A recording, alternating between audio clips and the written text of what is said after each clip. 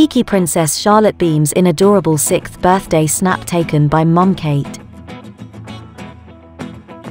Princess Charlotte turns 6 today, and she char looks like her mum Kate. The Duchess of Cambridge shared a photo of the youngster in a floral dress, and with a cheeky grin almost identical to hers at a similar age. The smiley snap was taken by Kate this weekend in Norfolk and released by Kensington Palace.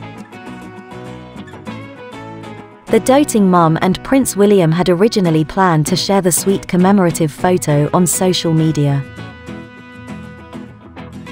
But due to William's football links, the royal couple are backing clubs, players and other sporting bodies by steering clear of Instagram, Facebook, and Twitter for four days in a boycott over online racism and abuse.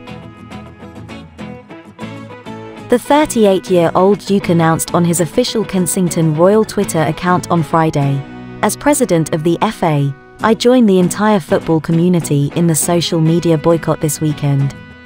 W. The boycott aims to push tech giants into taking stronger action against people who post racist and sexual abuse online.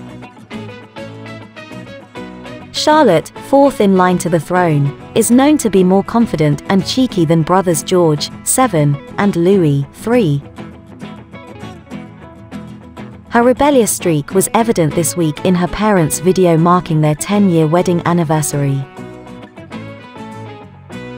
While both her brothers' shirts are neatly tucked in, Charlotte's is seen sticking out under her jumper as she tears around outside. The new photo is a contrast from the photos which marked Charlotte's fifth birthday.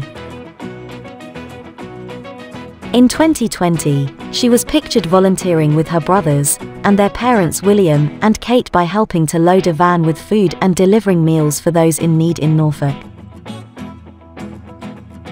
The birthday girl's full title is Her Royal Highness Princess Charlotte Elizabeth Diana of Cambridge. She was born at the private maternity Lindo wing of St Mary's Hospital in Paddington, central London, at 8.34am on May 2, 2015, weighing 8 pounds 3 ounces.